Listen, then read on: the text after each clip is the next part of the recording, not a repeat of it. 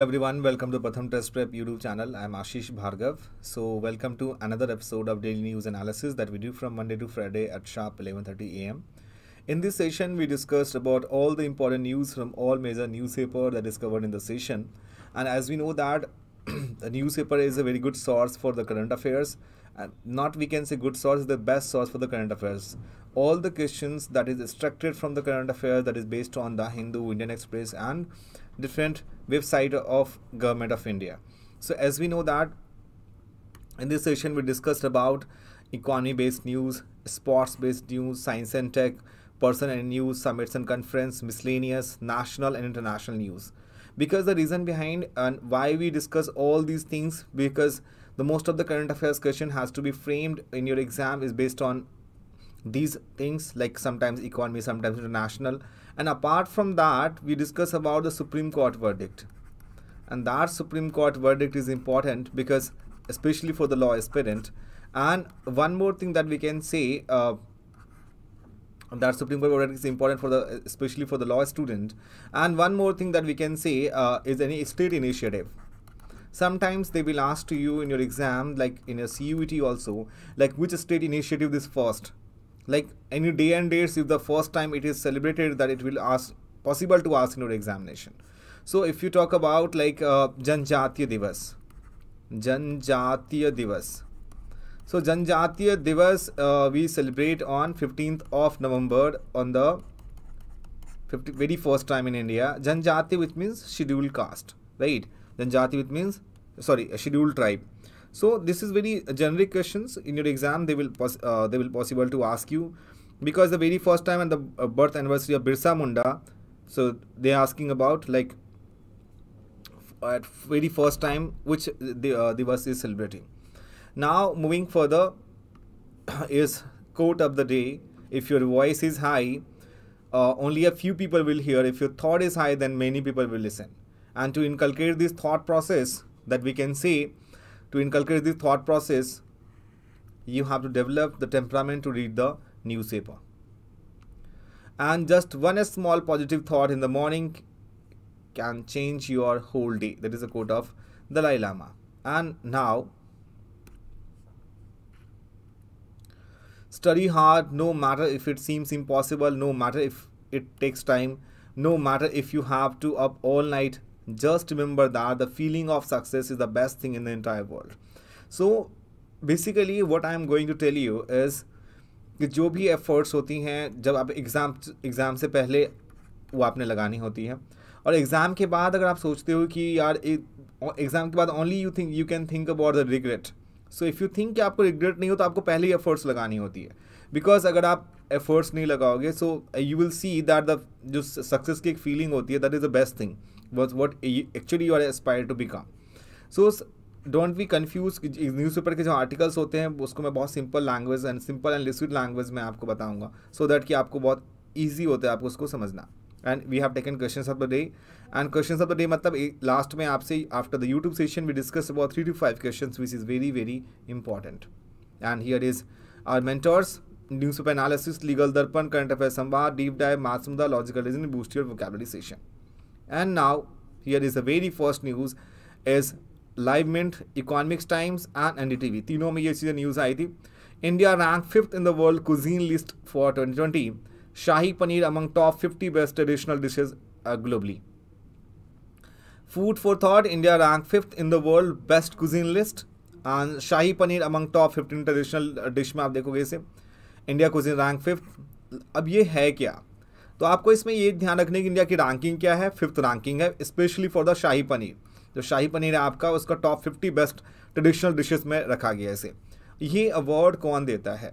ठीक है who is decided to this ranking and all so here we can see this one is test atlas which one is the favourite so italy is in first position uh, you can say second position is greece spain japan and india so italy is in first position in the best cuisine in the world and Greece is in second position, third is Spain, and fourth in Japan, and fifth one is uh, India. Sixth Mexico, sixth, seventh in Turkey, eighth United States, France, Peru, China, Brazil, Portugal, Poland, Germany, Indonesia, Croatia, Argentina, South Korea, Vietnam, and Hungary. And the last position is Taiwan. Now so we need to remember the first position is uh, first position is in italy. Second position is greece. Third is spain. And fourth is japan. And fifth one is india. Right? Now moving further. One of the world's highest flying birds spotted near city. So the bar-headed geese are capable of you know lying across mountains at height of 12,000 to 14,000 feet with winds that blow at a speed of 200 mph. So the bar-headed goose, considered one of the world's highest flying birds, recently visited the Muthukadu backwaters. So nearly seven bar-headed geese को temporarily uh, क्या हुआ है कि मुतुकुद में find किया गया और ये सारे माइग्रेटरी बर्ड्स होते हैं जिन पे इंडिया में आने के बाद उसकी बहुत इंपॉर्टेंस होती है and we can say this year is good for the birding, especially in, you know, uh, So that was considered a good sign for if raptors reach the habitat. So if I talk about Asian wetland census, so every January, thousands of volunteers across Asia and Australia visit wetlands in their country count water birds. So this citizen science program is Asian waterbird census, and it was established in 1997 so Asian water bird census that was initiated in 1987 in the Indian subcontinent. The census cover the entire East Asian, Australian Asian flower, flyway and larger part of Central Asian flyway. So the main objective is to obtain annual information of water bird population at wetlands in the region, the status of wetlands and encourage interest in water birds and wetlands among the public and thereby promote conservation. So the AWC, Asian Waterbird Census, is an integral part of Global Waterbird Monitoring Program. The International Waterbird Census, IWC, coordinated by Wetland International. So the Wetland International need to be remember that Wetland International that we can say is the international waterbird census that was coordinated by the Wetland International. Now moving further, as we can see here is an Asian migratory bird flyway is from Central Asian Indian flyway is there and West Pacific Flyway is there. Right. So that migratory birds having great importance as we have discussed now. First ever ever butterfly survey conducted in Madhumalai Reserve records 175 species. So we have to find it out where is Madhumalai, Mudumalai, Mudumalai Tiger Reserve.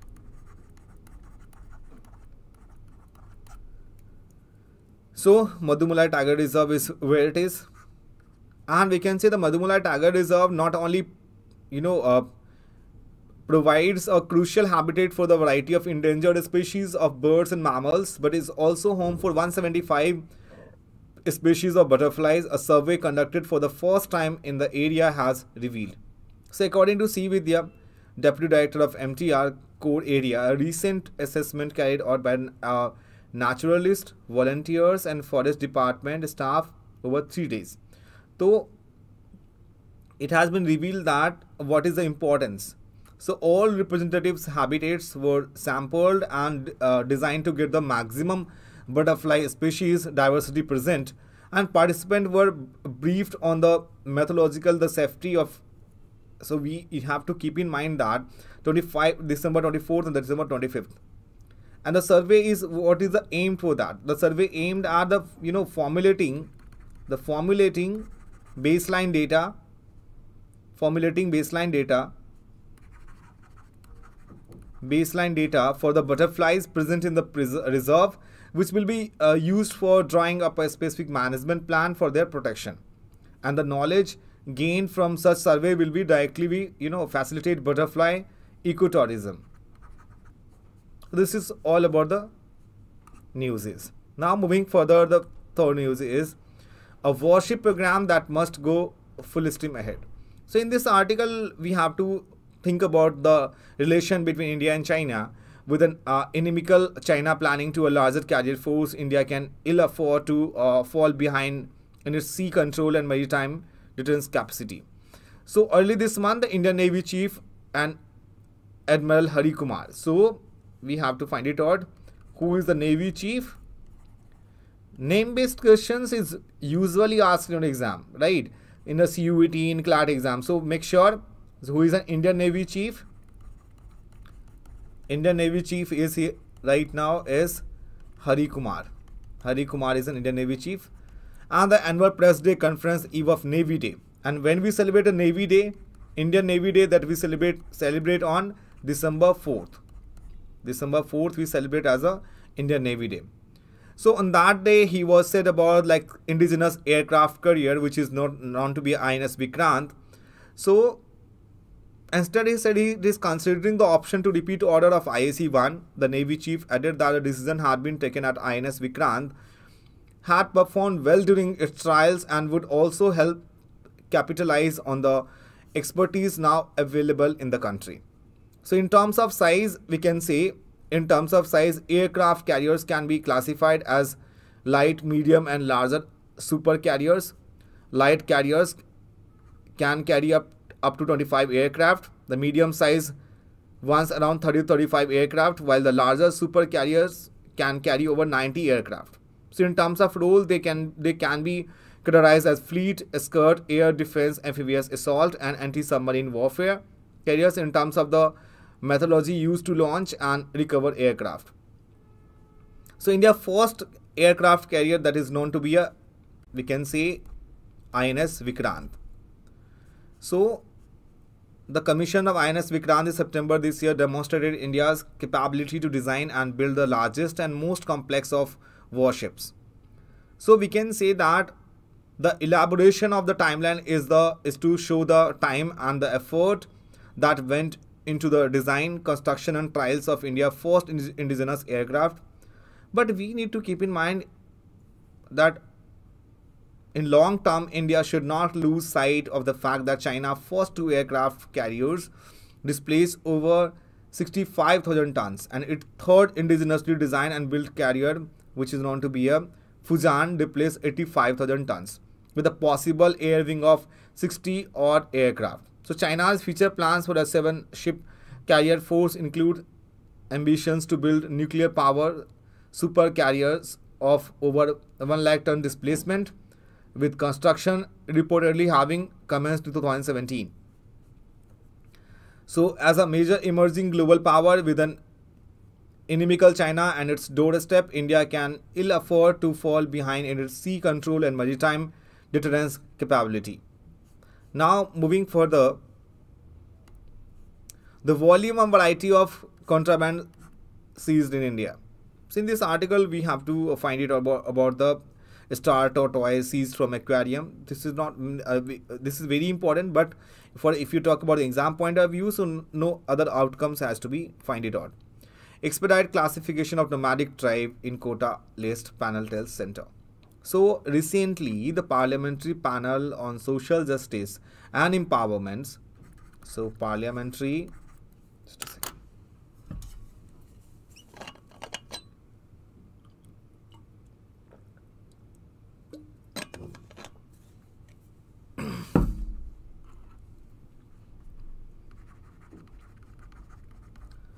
so Parliamentary Panel on Social Justice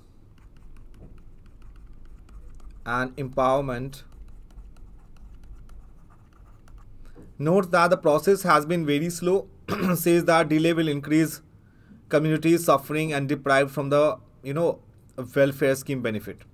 So the Parliamentary Panel on Social Justice and Empowerment empower, Empowerment has pulled up the union government over the very slow process to categorize over 260 denotified nomadic, nomadic and semi-nomadic tribes under SC, scheduled tribe, scheduled caste, scheduled tribe, and OBC list. A government official had pointed out that this is delayed the approval of benefits under the seed scheme. What is the seed scheme for that?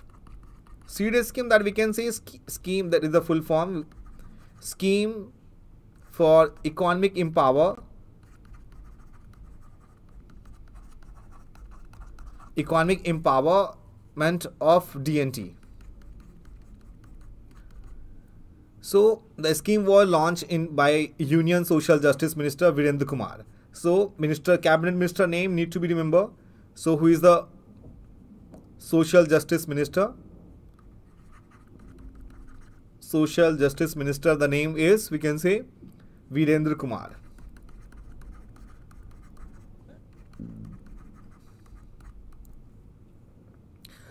so as of December 27th a total of over we can say 5400 application had received under the none of which have been approved and no amount has been sanctioned. So after the government said the work was uh, you know proceeding and would be finished by 2020 the panel said the process was still very slow. Delay in locating them would increase their suffering and they, they would not be able to get benefit of the prevailing schemes meant for the welfare of scheduled caste and scheduled tribe. Right. So in response to the panel's concern, the Department of Social Justice and Empowerment had submitted that the Anthropological Survey of India had submitted report on categorization of 48 DNT communications. So we have to think more about the Ministry of Social Justice. Said 402 online applications of SEED, which is I told you scheme for economic empowerment and denotified nomadic and semi-nomadic tribe. So more than 10 crore Indians from 1,400 communities belongs to this group as per the latest estimates available with the government. So seed I told you about like the scheme for the economic empowerment denotified nomadic semi-nomadic communities was launched in February 2022 by the Ministry of Social Justice and Empowerment. These things are very important because okay what is the aim and objective of this scheme is to provide you know free competitive exams coaching to these students to provide health insurance to families to uplift uplift cluster to these communities uh, through lively uh, livelihood initiative and to provide financial assistance for housing. Now moving further ncpcr warns ngos over depictions of vulnerable children for fundraising so we, what is the crux of this passage? First is what is NGO, non-governmental organization, and what is NPs, NCPCR. So which is basically National Commission for Protection of Child Rights, right? So the practice of civil society organizations using uh, representative visuals for fundraising activities concerning development issues such as malnutrition. So now faces new scrutiny with the National Commission. The full form is National Commission for Protection of Child Rights. Protection of Child Rights. That is issuing a directive to non-governmental organization not to depict vulnerable children. So 2013 that a campaign by a UK based NGO Save the Children title Khushi. So what was the Khushi? That is the NGO name that is a 20 month old baby lying on the hospital bed and malnutrition treatment and all this is the story that we not need to understand but i'm just telling you just for the sake of कि आप उसको recall कर सको so the campaign was aimed to raise money for the NGO initiative against malnutrition came under scrutiny and for uh, from several corners over the use of you know uh, Im images of vulnerable child. The campaign ran for the several years even under some within the NGO were shocked that their organization did not know the latest and well-being and whereabouts of the child features in its campaign. So the images from the Anand campaign has been pulled down the NGOs. So we can say that how the any NGOs taken the money from the people and that is using something for the different purpose.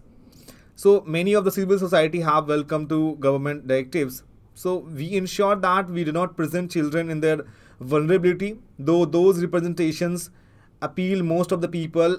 In a, uh, instead, we can say uh, we present strength and dignity. The poorest of children do laugh and have managed to live and dignity. Therefore, the government position uh, is the right one. So the union government has also repeatedly rejected the India performance in the Global Hunger Index. So can anyone tell in the comment section what is the rank of Global Hunger Index? Global hunger index of India. So global hunger index may be recently we can see in the CLAT exam also asked about the global hunger index. Who released global hunger index? So India was ranked 107, right? 107 out of 121 countries in 2022. Can anyone tell in the comment section who released global hunger index? And we, we it is it's very shocking that we are far behind than the our neighboring country. Now moving further.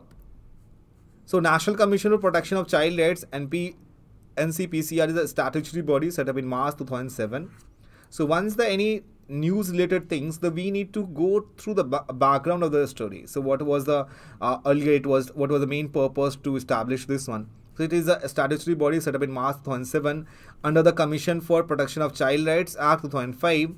So it is under the administrative control of the Ministry of Women and Child Development and the commission mandate to ensure that all laws, policies, programs and administrative mechanism are in consonance with the child rights perspective as enshrined in the Constitution of India, also the UN Convention on Rights of Children.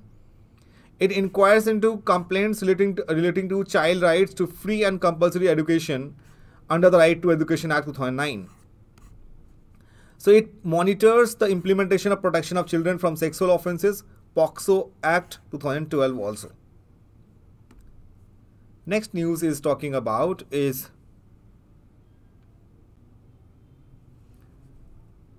centers mandates universal digital capturing of MG NREGA's attendance. So digital capture of the attendance of workers employed under the Mahatma Gandhi National Rural Employment Guarantee Scheme. So MG NREGA full form need to be remembered because they will ask you in your exam what is MG NREGA stand for.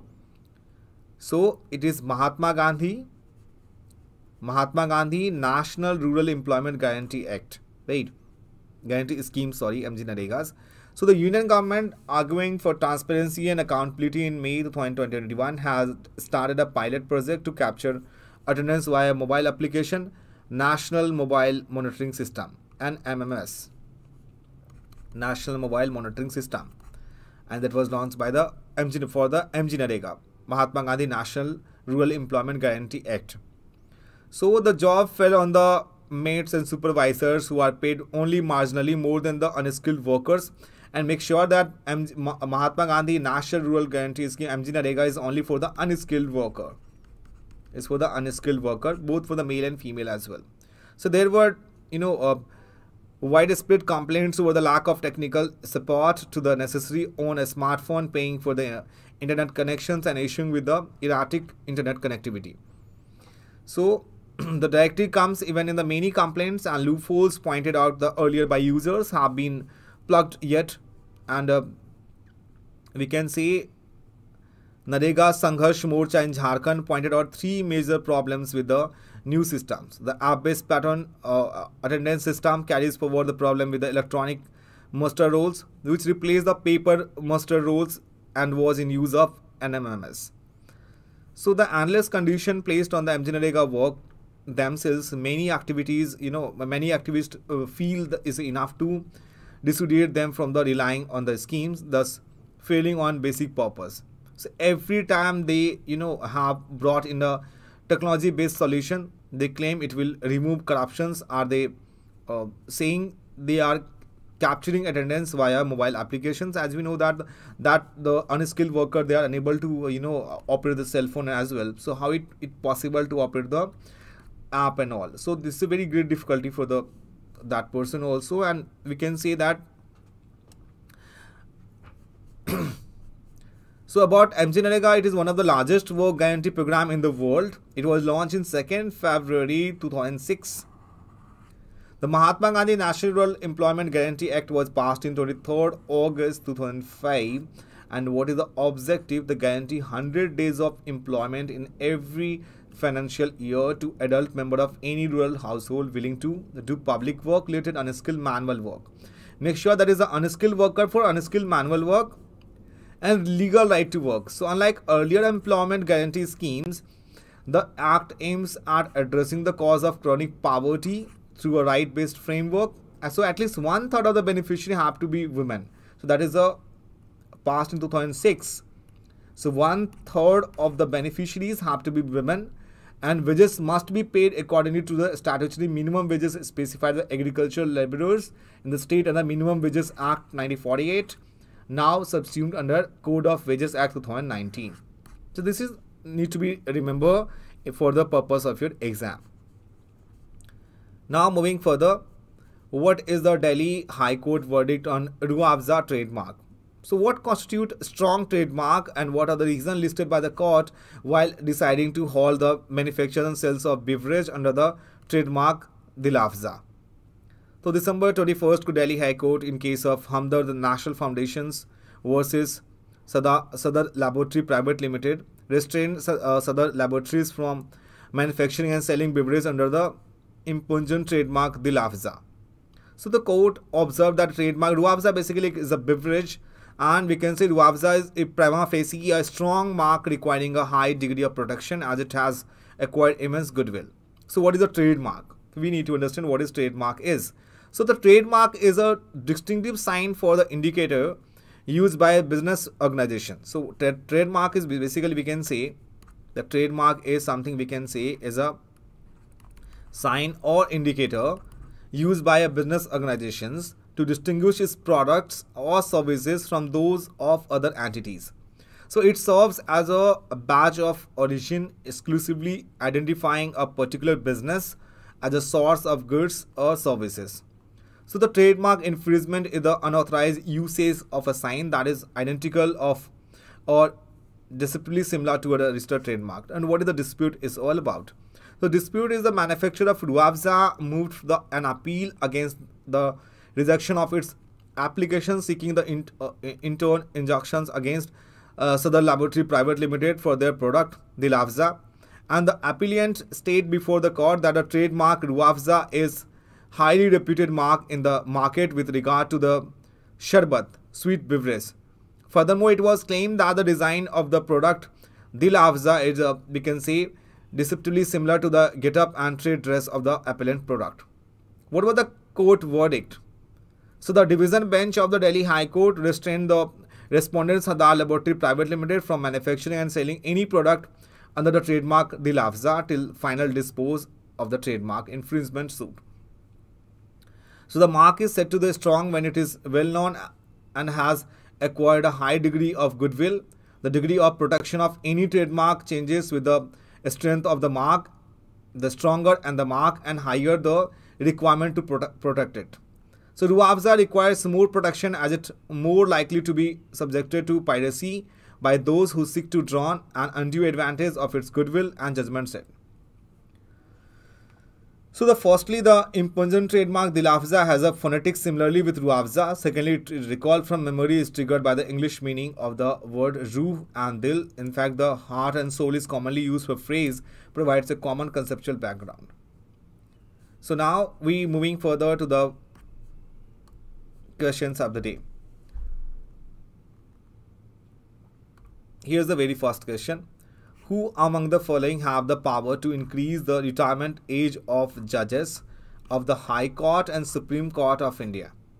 Option A Department of Justice, Ministry of Law and Justice, Parliamentary Standing Committee on Personal Personnel, Public Grievances, Law and Justice, C option Parliament and Supreme Court Collegium. So as we know, Collegium system is work to for is for the appointment and transfer of Supreme Court and High Court judges. And the Collegium system, there are five eminent person, including CJI, and four senior most judges. So in our country, judges decided to another judges, right? So who we can say who can uh, have the power to increase the retirement age of judges of High Court and Supreme Court of India? So obviously the answer would be here Parliament. So Parliament having sovereign authority to increase and decrease. So C option. The Supreme Court judges retire at the age of 65 years and the judges of 25 high courts in the country retired at 62 years. So make sure the retirement age is different for the Supreme Court judges and the High Court judges. And the Constitution Article 114th Amendment Bill was introduced in 2010 to increase the retirement age of High Court judges to 65 years. However, it was not taken up by the consideration in Parliament and lapsed with the dissolution of 15th Lok Sabha. Moving to the next question. Who is the following is India fifth Prime Minister?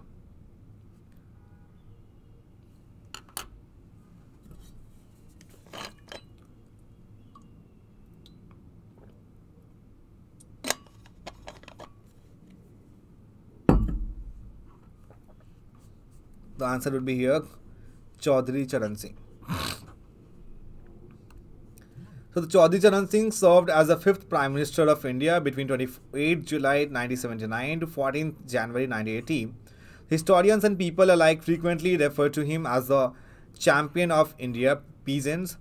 Union Home and Cooperation Minister Shri Amit Shah. So this question asked in the CUET exam, like who was the Cooperation Minister? So make sure Cooperation Minister is Amit Shah. So you have two Home Minister as well and Cooperation Minister also.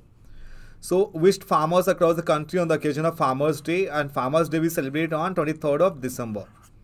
And why it is celebrated? To commemorate and recognize the farmers as the country backbone. And around as per the data Ministry of Farmers we can say sorry uh, as per the data of ministry that 54% of people still their livelihood depend on the agriculture.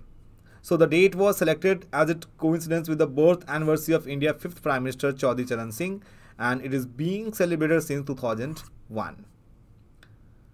Moving to the next question, consider the following statements. The decision of Supreme Court are binding on all courts in India. High courts have the power to issue writs related to fundamental rights. Subordinate courts have the power to deal with civil cases and not criminal cases. Which of above statement is are correct?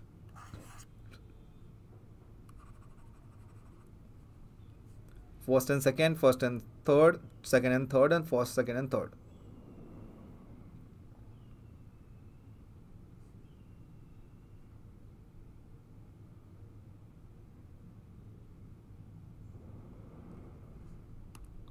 So is the solution A, option because Supreme Court decisions are binding on all courts can transfer High Court judges also can call a case from a lower court to it itself and can transfer cases from one high court to another.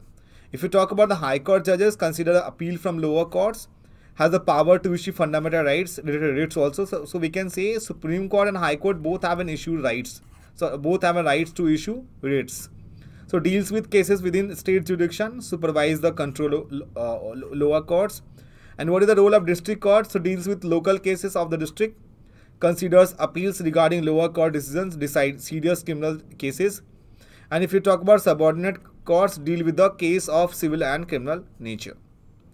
So second last question, Bhasha Samman Award is given by the uh, Sahitya Akademi. Which of the following statement best describe the Bhasha Samman Award? It recognizes young writer under the age of 35. It conferred a personal recognition of their substantial contribution in the field of Persian, Arabic, Pali and Prakrit language. It recognized scholars who have done valuable work in the field of classical and medieval literature. And and C is the right option.